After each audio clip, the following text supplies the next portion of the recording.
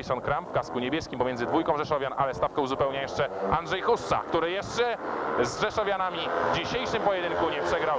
I po tym co widzimy na szczycie pierwszego łuku zanosi się na to, że nie przegra z Rzeszowianami. Andrzej Hussa, Jason Kramp, Hussa po wewnętrznej, po zewnętrznej Jason Kramp, a więc Krampowi taki przykry wypadek przy pracy przydarzył się w tym wyścigu 13, kiedy przegrał przyjechał na linię mety jako ostatni. Teraz pokazuje, że naprawdę znajduje się w bardzo dobrej, wyśmienitej wręcz dyspozycji.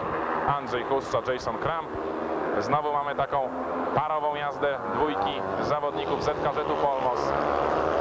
Bliżej krawężnika Andrzej Hussa. Po orbicie, jak mawiają żużlowcy, Jason Kramp, choć teraz Andrzej Hussa troszeczkę popełnił błąd.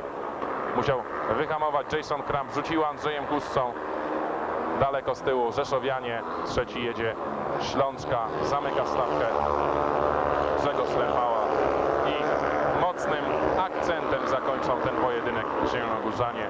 Dwa wyścigi nominowane, dwa podwójne zwycięstwa. Jako pierwszy linię mety mija Australijczyk Jason Ramp.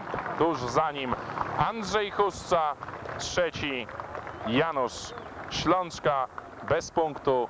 Jako ostatni daleko, daleko z tyłu linię mety minął Grzegorz Rempała. 5 punktów dla Zielonogórzan i końcowy rezultat meczu pomiędzy ZKŻ Polmos a Stalą Wanpur Rzeszów 55